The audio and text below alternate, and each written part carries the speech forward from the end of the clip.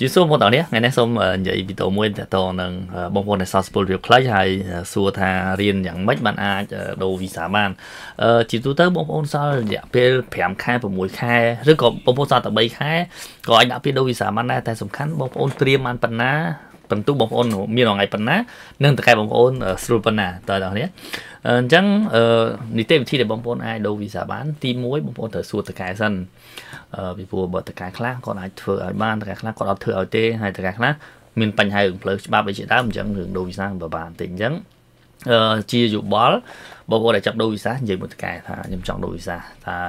គាត់អនុញ្ញាតអត់ឲ្យគាត់អនុញ្ញាតយើងអាចដូរខ្លួនឯងបានដែរដូរខ្លួនឯងក៏បានសុំឯកសារពីគាត់មកក៏បានជួលមេធាវីក៏បានមែនទេបន្ទាប់ពីសួរគាត់ហើយគាត់ថាអូខេគាត់ អនុញ្ញាតឲ្យយើងដូរយើងរៀនទៅអាហ្នឹងយើងបានមួយចំណុចដែរយ៉ាងចំណុចទី2គឺយើងត្រូវបូកបន្ទុកសម្រាប់ដូរវីសារបៀបបូកបន្ទុកសម្រាប់ដូរវីសាងាយស្រួលខ្ញុំបានធ្វើវីដេអូដាក់ក្នុង YouTube បងប្អូនអាចចូលទៅមើលបានដោយវាដាក់ថារបៀបបូកបន្ទុកដូរវីសាអញ្ចឹងខ្ញុំមានធ្វើវីដេអូណែនាំហ្នឹងហើយអញ្ចឹងបងប្អូនអាចបូកតាមហ្នឹងមកជាទូទៅបងប្អូនដែលនៅកូរ៉េចាប់ពី4ឆ្នាំ5ឆ្នាំហ្នឹងទៅជាពិសេសអ្នកណាទី2គឺសឹងតែគ្រប់គ្នាគឺគ្រប់បន្ទុកសម្រាប់ដូរវីសាខ្វះតែមួយយ៉ាងឯង គាត់ថាចំណុចទី3អញ្ចឹងបើទី2បូកបន្ទូទៅបាន150ហើយឬរៀន150ឡើង150ឡើងសង្ឃឹម150ឡើងសង្ឃឹមតមកចំណុចទី3គឺរៀនភាសាកូរ៉េនេះភាសាកូរ៉េវាក់សាវក្នុងប្រូក្រាមនេះដោយសារថាកាដូវីសាគេតម្រូវយើងមានភាសាកូរ៉េកម្រិត3ឡើងទៅសម្រាប់វគ្គសាវេហើយបើបន្ទុកបន្ទុក41ឡើងទៅសម្រាប់អ្នកត្រៀមប្រឡងសាចំផ្យងការហើយបើសិនជាអ្នកប្រឡង topic អាហ្នឹងគឺកម្រិត2មែនទេអញ្ចឹងអឺ អាចជាទី3នេះហើយដែលបងប្អូនតែនិយាយថាសល់ពេលខ្លីរៀនតាន់អត់ប្រឡងដូរបានអត់ជាចម្លើយគឺរៀនបានប្រឡងបានដោយសារតែ អឺបន្ទុក41កម្រិត3នេះគឺងាយស្រួលយកទាំងអស់គ្នាដោយសារតែបងប្អូនប្រកបជាធ្លាប់រៀនភាសាកូរ៉េកម្រិត1កម្រិត2មកពីខ្មែរមែនទេអញ្ចឹងនៅកូរ៉េបងប្អូនរៀនរំលឹកកម្រិត1កម្រិត2កម្រិត3វាក់សាវាក្នុងប្រូក្រាមហើយបាយរៀនដល់កម្រិត4ទៅកាន់តែល្អរៀនអឺបន្ថែមរំលឹកហើយបងប្អូនដាក់ពាក្យប្រឡងសាចំផ្យងការអឺការប្រឡងសាចំផ្យងការមានរាល់ខែទេមានទាំងតាមកតាតាមកុំព្យូទ័រអញ្ចឹងបងប្អូនទៅប្រឡង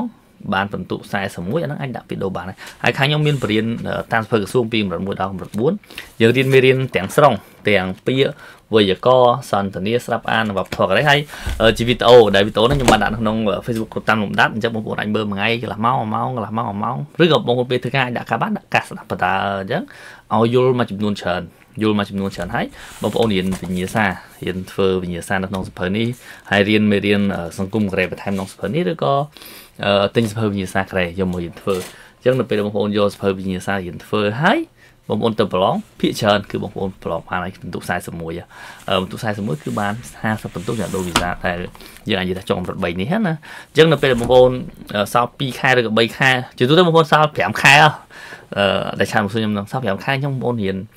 ចំណាយពេលមួយខែកន្លះទៅ2ខែរៀនរៀនតាមសភៅក្រសួងដែលខ្ញុំមានជាវីដេអូឲ្យបងប្អូនរៀនបានគ្រប់ពេលទៅនេះអញ្ចឹងបងប្អូនបងប្អូនខ្លះរៀនរយៈពេលមួយខែចប់ ចប់បាន2វគ្គឬក៏3វគ្គអស់អាស្រ័យលើបងប្អូនព្យាយាមបន្ទាប់ពីរៀនមេរៀនហើយបងប្អូនរៀនវិញ្ញាសារៀនវិញ្ញាសាហើយអាចទៅប្រឡងបានដល់នេះព្រោះក្នុងវិញ្ញាសាយើងមានវិញ្ញាសាគ្រីវិញ្ញាសាសម្ភារបងប្អូនអនុវត្តធ្វើហើយមួយទៀតបងប្អូនគិតថាខ្ញុំខ្សោយវិជ្ជាករខ្ញុំបងប្អូនអាចយកធ្វើវិជ្ជាករសិក្សាបានបងប្អូនយកធ្វើវិជ្ជាករសិក្សាបន្ថែមហើយរៀនពាក្យបន្ថែមអញ្ចឹងបងប្អូនពិតជាអាចប្រឡងដូរវិសាបានតើដល់គ្នាអញ្ចឹង បងប្អូនដើរតាម3ដំណាក់កាលហ្នឹងគឺអាចដូរវីសាបានហើយសម្រាប់បងប្អូននៅសល់ពេលខ្លីសម្រាប់បងប្អូននៅសល់ពេលវែងអាចដូរបានដូចគ្នាតែវីដេអូខ្ញុំផ្ដោតលើអ្នកសល់ពេលខ្លីហើយអញ្ចឹងសម្រាប់បងប្អូនដែលចង់ដូរវីសាហើយគិតថាតកែធ្វើឲ្យដែរហើយចង់រៀនភាសាកូរ៉េបងប្អូនមានជំរើសពីរទីមួយរៀនអនឡាញជាវីដេអូជាមួយខាងខ្ញុំដែលខ្ញុំបញ្យល់តាមសភៅក្រសួងទាំងស្រុង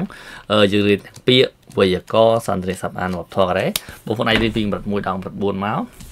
ហើយកម្រិត5យើងរៀនតាមសភៅនេះដែលខ្ញុំសង្ខេបមេរៀនពីសភៅក្រសួងកម្រិត5ហើយយើងមានវិញ្ញាសាយបងប្អូនរៀនធ្វើតោះណាហ្នឹងបងប្អូនចង់រៀនជីវិតតមួយទៀតបងប្អូនថាខ្ញុំចង់រៀនចំបានតែសភៅសិក្សាបងប្អូនអាចយកសភៅពីរក្បាលនេះ មួយជាសភៅពាក្យនិងវិជ្ជាករក្រុមរដ្ឋដែលមានបញ្យលបកប្រែខ្មែរស្រាច់មួយទៀតជាមេរៀនសង្គមកូរ៉េ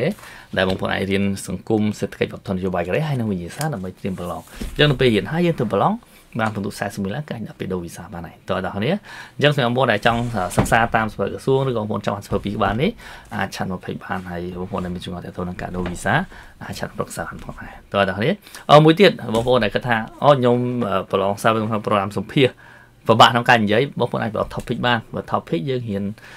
តែវិញ្ញាសាស្ដាប់ហើយនិងវិញ្ញាសាអានក៏អាចប្រឡងដូរវិសាបានដែរតោះនេះហើយបងប្អូនដែលចង់សិក្សាវគ្គ topic ក៏អាចឆាន់មក page បានផងដែរខាងខ្ញុំនឹងរៀបចំជូនអញ្ចឹងជូនបងប្អូនអរគ្នាសុខសប្បាយហើយរៀបចំខ្លួនដើម្បីដូរវិសាបានទាំងអស់គ្នាអរគុណជំរាបលា